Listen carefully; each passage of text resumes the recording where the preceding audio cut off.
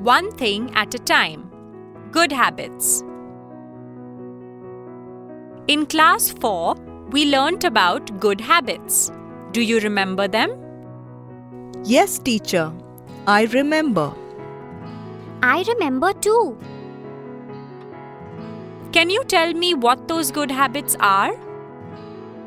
Early to bed and early to rise is the way to be healthy, wealthy, and wise. One was about the magic words thank you and please. Hearts, like doors, will open with ease. Mm, mm, to very, very small keys.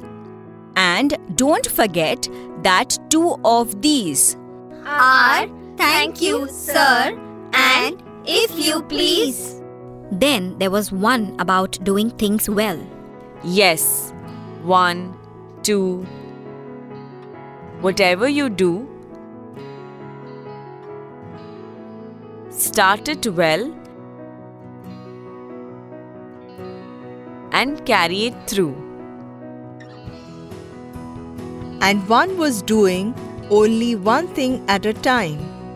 Yes, one thing at a time. And that, done well, is a very good rule. As many can tell. Excellent. Can you think of some other good habits? We must drink a lot of water. We must cut our nails every week.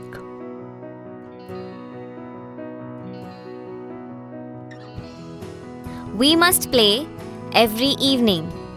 Yes, Ruchi, that is very important. And we should study after we play. Yes, that's a very good habit. Good.